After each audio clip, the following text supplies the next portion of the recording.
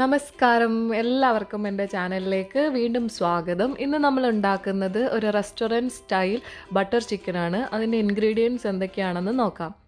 അറുന്നൂറ് gram chicken രണ്ട് medium സവാള രണ്ട് തക്കാളി ആറല്ലി വെളുത്തുള്ളി വലിയൊരു കഷ്ണം ഇഞ്ചി ഒരു പച്ചമുളക് നാല് ടേബിൾ സ്പൂൺ ബട്ടർ പത്ത് കശുവണ്ടി ഒരു പിടി മല്ലിയില ഒരു ടീസ്പൂൺ നാരങ്ങാനീര് രണ്ട് ടേബിൾ സ്പൂൺ കുക്കിംഗ് ക്രീം. ഒരു ടേബിൾ സ്പൂൺ പഞ്ചസാര ഒന്നര ടേബിൾ സ്പൂൺ തൈര് ഒരു ടേബിൾ സ്പൂൺ ഗരം മസാല ഒരു ടീസ്പൂൺ മല്ലിപ്പൊടി അര ടീസ്പൂൺ ജീരകപ്പൊടി കാൽ ടീസ്പൂൺ മഞ്ഞൾപ്പൊടി മൂന്ന് ടേബിൾ സ്പൂൺ കാശ്മീരി ചില്ലി കാൽ ടീസ്പൂൺ ഏലക്കാപ്പൊടി ഒരു ടേബിൾ സ്പൂൺ ഉലുവയില ആവശ്യത്തിന് ഉപ്പ്.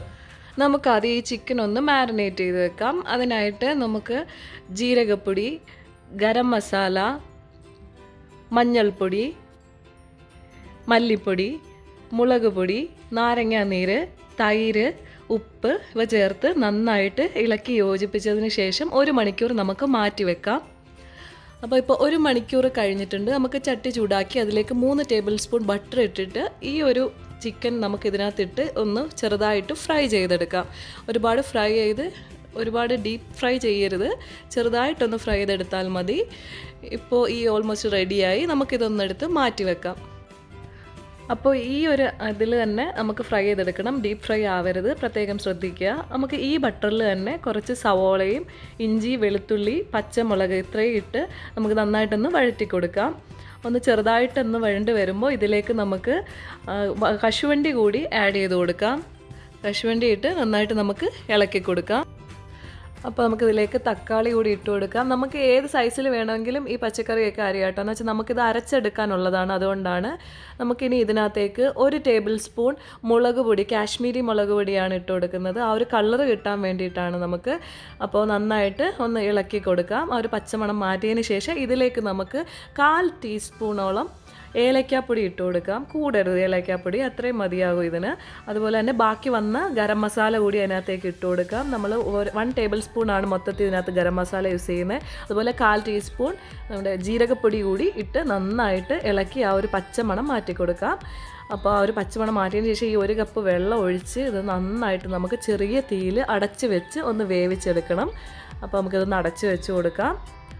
അപ്പോൾ ഇത് നന്നായിട്ട് കുക്കായിട്ട് വന്നിട്ടുണ്ട്. അപ്പോൾ നമുക്ക് ഇനി ഇതൊന്ന് ഗ്യാസ് ഓഫ് ചെയ്തതിന് ശേഷം നമുക്കൊരു ജാറിലിട്ട് നന്നായിട്ട് അരച്ചെടുക്കാം. കുറച്ച് വെള്ളം കൂടി ആഡ് ചെയ്യാം. നല്ല തണുത്ത വെള്ളം ഒഴിച്ചു കൊടുക്കുക. നമുക്കിത് അരച്ചെടുത്തിട്ടുണ്ട്. അപ്പോൾ നമുക്കിനി ഇതൊരു അരപ്പിൽ കൂടി കൂടി ഒഴിച്ച് നന്നായിട്ടൊന്ന് അരച്ചെടുക്കുക. നല്ല പേസ്റ്റായിട്ട് വന്നിട്ടുണ്ടെങ്കിൽ അരിക്കേണ്ട കാര്യമില്ല. പക്ഷെ ഞാനൊന്ന് അരച്ചെടുത്തിട്ടുണ്ട്. നമുക്കിനി ഇതൊന്ന് മാറ്റി വെക്കാം.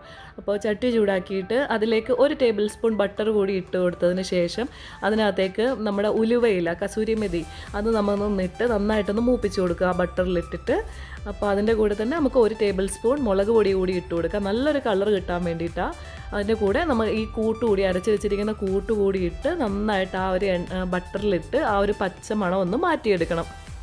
അപ്പോൾ ഒരു പച്ച മണം ഒന്ന് മാറി വരുന്നുണ്ട്. ഈ സമയം നമുക്ക് കുറച്ച് വെള്ളം കൂടി ആഡ് ചെയ്ത് നന്നായിട്ടൊന്ന് തിളയ്ക്കാനായിട്ട് വിടണം. അതുപോലെ തന്നെ ഇനി ഇതിനകത്തേക്ക് നമ്മുടെ മെയിൻ ഇൻഗ്രീഡിയന്റ് എന്ന് പറയുന്നത് പഞ്ചസാരയാണ് കേട്ടോ. പഞ്ചസാര ഇതിനകത്ത് നമ്മൾ എന്തായാലും ആഡ് ചെയ്യണം. ഒരു മധുരമാണ് ഈ കറിക്ക് മധുരവും എരിവും കൂടി ഉള്ളത്. ഒരു ടേബിൾ സ്പൂൺ പഞ്ചസാര ഇതിന് എന്തായാലും മസ്റ്റാണ് അപ്പോൾ അതുപോലെ തന്നെ ഞാൻ കുറച്ച് ഉപ്പ് കൂടി ആഡ് ചെയ്ത് കൊടുത്തു. അപ്പോൾ നന്നായിട്ട് ഇളക്കി യോജിപ്പിക്കുക. അതിനുശേഷം നമുക്ക് ചിക്കന്റെ കഷ്ണങ്ങൾ ഇട്ട് കൊടുക്കാം. അപ്പോൾ അത് നന്നായിട്ട് നമുക്കിനി തിളയ്ക്കാനായിട്ട് വിടാം. നല്ല തിളച്ച് വരണം. അപ്പോൾ ഇത് നല്ലതായിട്ട് തിളച്ച് വന്നിട്ടുണ്ട്. നമുക്കിതിലേക്ക് കുറച്ച് കുക്കിംഗ് ക്രീം കൂടി ആഡ് ചെയ്യുക ഒരു ടേബിൾ സ്പൂൺ ആഡ് ചെയ്ത് കൊടുക്കുക. അപ്പോൾ നന്നായിട്ട് ഇളക്കി യോജിപ്പിച്ചതിന് ശേഷം ഇപ്പോൾ നന്നായിട്ട് കുറുകി വരുന്നുണ്ട്. അപ്പോൾ നമുക്ക് മല്ലി ഇലയും കൂടി ഇട്ട് നന്നായിട്ട് ഇളക്കി യോജിപ്പിച്ച് ഒന്ന് തിളച്ച് വരുമ്പോഴത്തേക്ക് നമുക്കിനി ഗ്യാസ് ഓഫ് ചെയ്യാം. ഇപ്പോൾ കണ്ടില്ലേ നല്ലൊരു കളറൊക്കെ വരുന്നുണ്ട്. നമ്മുടെ ഒരു ബട്ടർ ചിക്കന്റെ കളർ നമ്മൾ വേറെ കളറൊന്നും ആഡ് ചെയ്തിട്ടില്ല. എന്നിട്ട് നല്ലൊരു കളർ വരുന്നുണ്ട്. കാശ്മീരി ചില്ലി ആഡ് ചെയ്തുകൊണ്ടാണ്. നമുക്കപ്പോൾ ഇത് റെഡി ആയിട്ടുണ്ട്. ഇതിന്റെ മുകളിലേക്ക് നമുക്ക് കുറച്ചുകൂടി കുക്കിംഗ് ക്രീം ഒന്ന് ഇങ്ങനെ സെർവ് ചെയ്ത് കൊടുക്കാം. അപ്പോൾ നിങ്ങൾക്കെല്ലാവർക്കും എന്റെ വീഡിയോ ഇഷ്ടപ്പെട്ടിട്ടുണ്ടെങ്കിൽ എന്റെ ചാനൽ സബ്സ്ക്രൈബ് ചെയ്യണം എന്റെ വീഡിയോ ലൈക്ക് ചെയ്യണം ഷെയർ ചെയ്യണം. Thank so much